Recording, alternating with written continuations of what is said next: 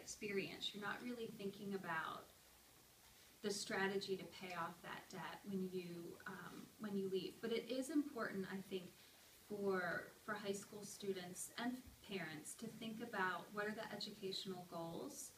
Um, what are they looking for the most in an undergraduate degree and experience? Um, to have the conversations early to know how a student is going to pay for college. Are mom and dad covering the cost, or grandma and grandpa chipping in, or is it left to the student's shoulders? Or at what level is it left to the student's shoulders?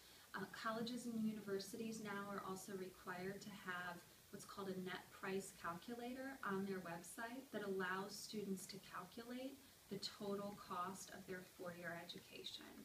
We are very upfront about our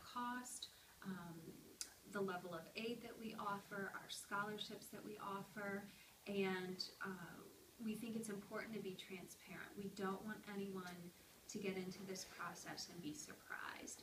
We